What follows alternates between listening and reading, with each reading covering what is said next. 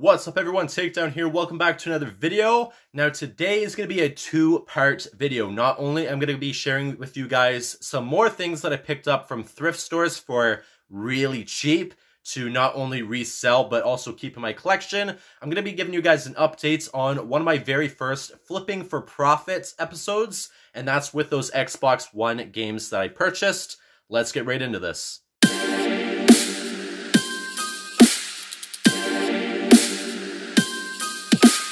So I'm going to start with the updates from the Flipping for Profit series. Now, back a couple months ago, I did purchase a bunch of Xbox One games. There was about 25 Xbox One games, some Lego figures, and Disney Infinity figures in the lot, and I only purchased it for $40. So as of right now, I have about seven Xbox One games left. They're all sports games, and the Disney Infinity figures, and so far, I am at $110 profits. Right now, I've sold $150 worth from that lot.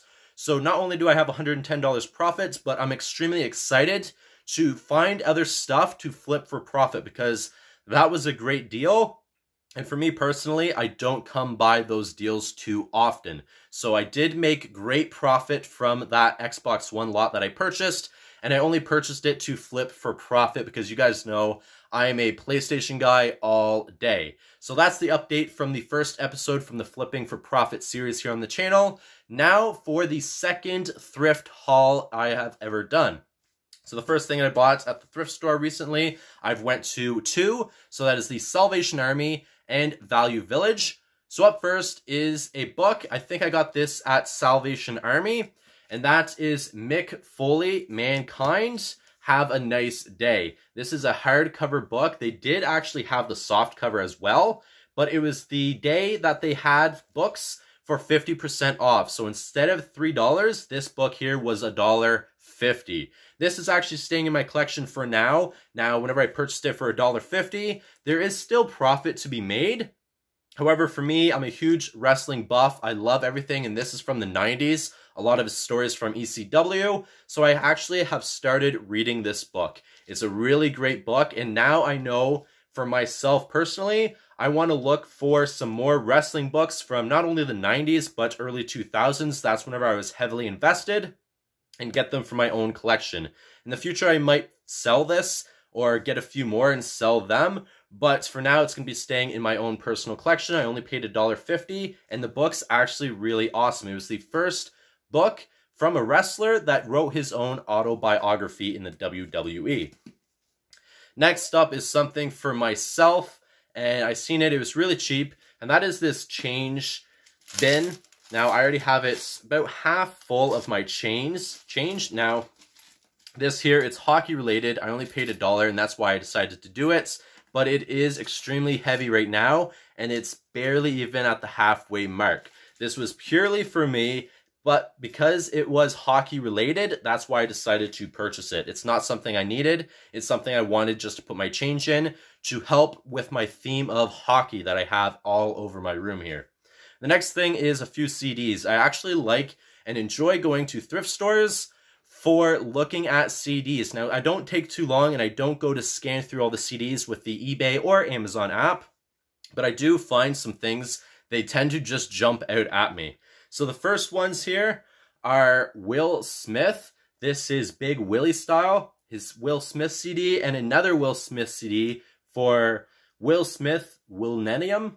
Now these ones here, back whenever these were released, I was not listening to Will Smith, but they do have some songs of his that I like on them, and I don't have any Will Smith in my collection. Now you guys know I do collect CDs. These here were only $2 each, like most thrift stores are, but you can spend hours going through their CDs because normally they have tons of them. These ones here, just within two seconds, both of these jumped out at me. Now this one here is a little bit scratched up, so I don't know 100% if it works, but for collection purposes, these were great finds for myself. And the last thing, in my opinion, is the most profitable, and it is another hardcover book. That is for Star Wars the complete cross section. So this talks about a lot of the ships within the Star Wars universe. Now, originally this was released in four books. This is all four books in one. So this here was in the kids section, and it was only $1.50 at Value Village, which is incredible. So this one here, I did scan it on Amazon, and it sells used for $80. Now, if it was brand new, never opened, and there is a couple dings around the edges, so I can't sell it as new, but if it was, it'd be about $160 on Amazon. To me, that is a really, really crazy and really, really high, but it does seem to sell on Amazon for that price, so that is crazy. So right now, I think I'm going to be saving it for Amazon, and whenever I have enough stuff to send to Amazon, this is going to be going with it.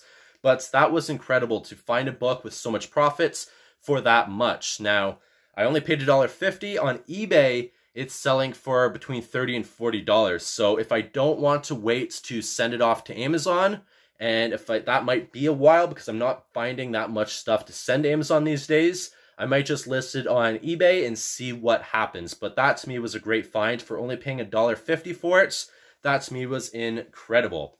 It's kind of like the Transformers book I bought a while back in the last thrift video that I did because I only paid $1.50 for it and it's worth about anywhere between $30 and $50. So finding books that are of value at thrift stores is kind of hit and miss because I find there's a ton of books to go through.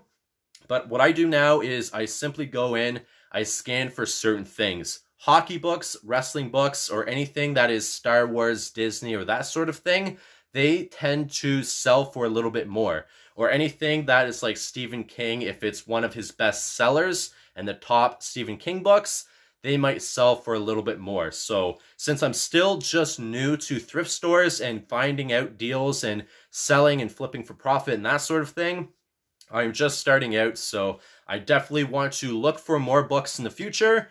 Those seem to be more profitable for me but it is a lot of fun just going through a thrift store and finding great deals and finding out what things are worth and being able to sell them for profit. It's a huge, huge adrenaline rush for me. So I absolutely love doing that. So that's all I have for today. I Hope you guys enjoyed this thrift haul video and also me giving you guys an update on my first flipping for profit series on my channel with the Xbox One games. I'll give I'll give you guys an updates in the future for some of my other thrift haul videos and some of my other flipping for profit videos. Whenever I do sell a lot and have enough to share with you guys, I will announce that in future videos as well. So I'm going to leave this video here. Hope you guys enjoyed. Please take care. Peace.